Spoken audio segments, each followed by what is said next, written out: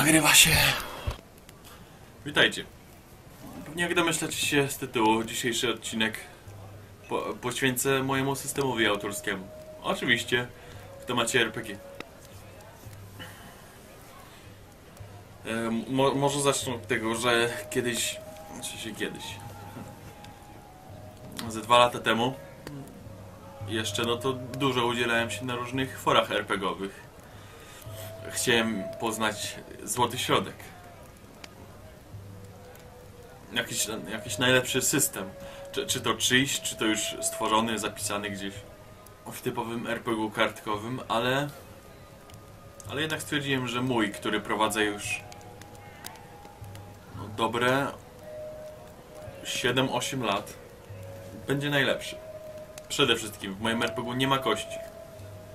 Wszystko zależy ode mnie. Ponieważ kość, moim zdaniem, wprowadza element losowości, który realnie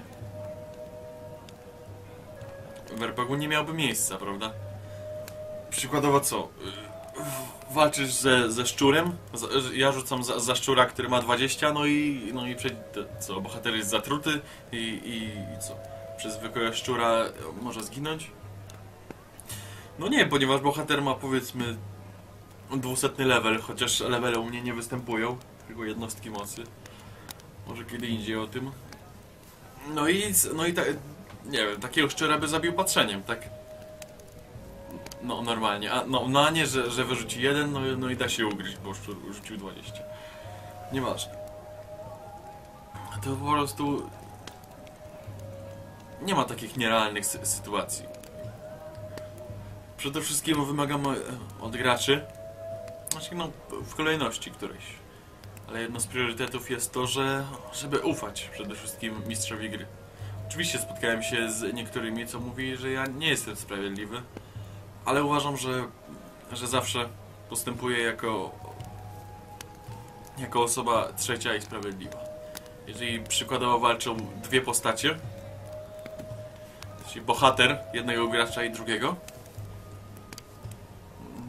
to, to, to rzeczywiście e, może się tak, się tak stać, że jeżeli mają zbliżoną moc, to oczywiście, jeżeli wygra jeden a, a, albo drugi, no to ten drugi jednak.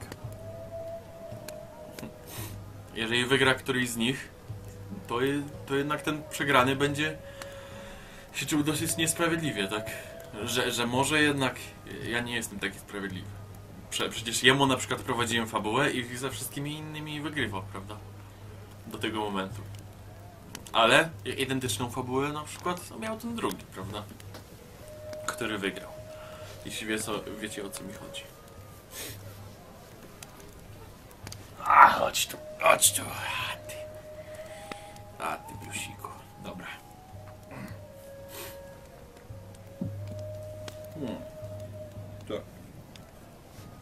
Również gracz ma niesamowitą swobodę.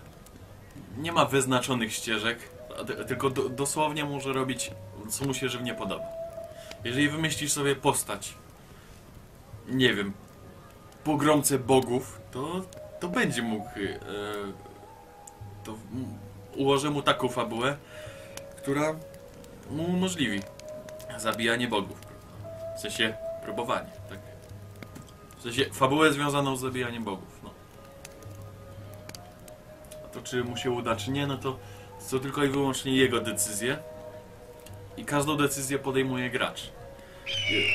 Ma pełną swobodę. Nie ma tak, że powiedzmy, atakuje cię przeciwnik z, z przodu, to, to co?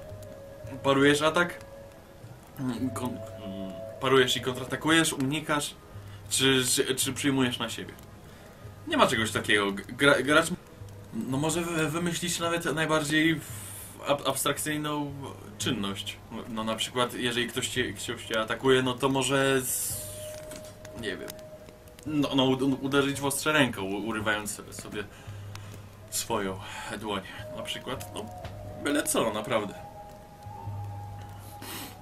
No może, może powiedzieć, że, że, że, że rozbiera się, się, się do naga, no i, no i nastawia ptaka, żeby mu uciął.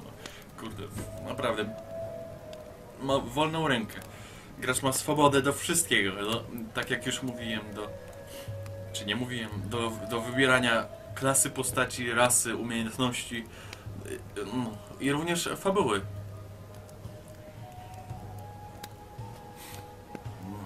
A ja muszę zadba zadbać tylko, by, by fabuła była taka, jaką sobie życzy, prawda? Nie ma tak jak w książkowych y, RPGach. że wszystko jest ustalone, ca cała fabuła, o co w niej chodzi, i tak dalej. Tylko, tylko rzeczywiście. Może być w teorii może być praktycznie nieskończoność wątków, tak? Świat jest ultra otwarty. Jeżeli gracz, gracz, nie wiem, po, sobie porzuci fabułę, spojrzysz sobie w jakąś księgę podróży, a, tam chce się dostać. Dobra. Może rzucić sobie fabułę i iść, iść tam. I tam również będzie, będą na niego czekały przygody. Bo o to właśnie chodzi w RPGach. No chyba, że postać nie chce przygód. To wtedy nie ma. Wszystko po prostu za zależy tylko od ciebie, jeżeli ze mną grasz. No i ewentualnie od niego.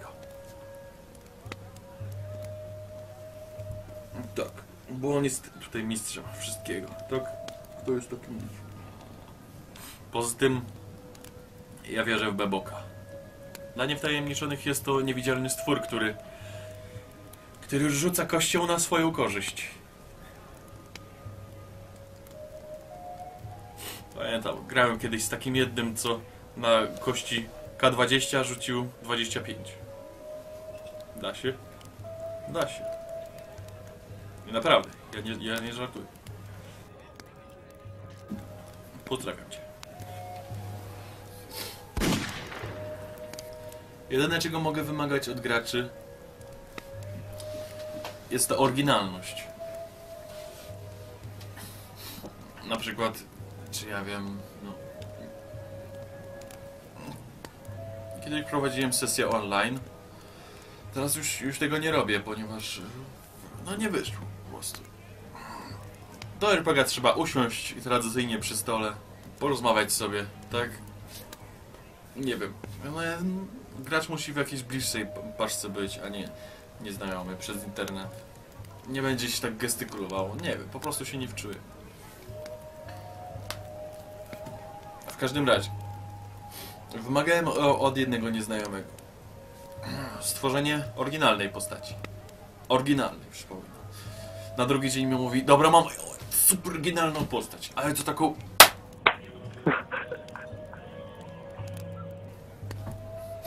No i co? Powiedział. Jest to krasnolud. Brzydzi się magią i jest kowalem. Ja mówię, nie, no, no to tradycyjny krasnolud, tak?